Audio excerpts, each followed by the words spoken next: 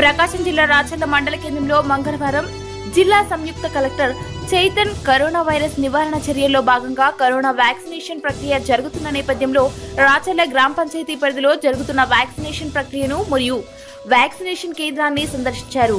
అనంతరం అక్కడ పనిచేస్తున్న సిబ్బందికి పలు సూచనలు సలహాలు అందజేశారు. ఈ సందర్భంగా చైతన్ మాట్లాడుతూ కోవిడ్ వైరస్ నియంత్రణ చర్యల్లో భాగంగా ప్రతి ఒక్కరూ వ్యాక్సినేషన్ వేయించుకోవాలని కోరారు.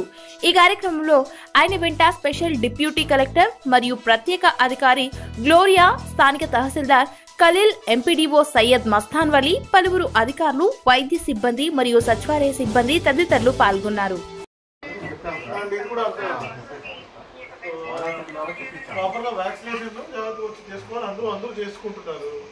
ఇక నేను చేసుకోను నేను చేసుకోను అంటే వాళ్ళు వచ్చి ఏదో ఒకటి ఇబ్బంది అవుతుంది. మళ్ళీ హాస్పిటల్ స్టార్ట్ చేయాలా? మళ్ళీ థర్డ్ వేవ్ స్టార్ట్ అవుతుంది. మళ్ళీ అందరూ దాని వెనకాల పడతారు కదా? తహసీల్దారే కదా? యాజ్ ఇన్సిడెంట్ కాబట్టి నువ్వు దట్ దిస్ థింగ్ అంటే? అలాంటి ఏమైనా అప్డేట్ ఉంటే మీరు మొబిలైజ్ చేయండి.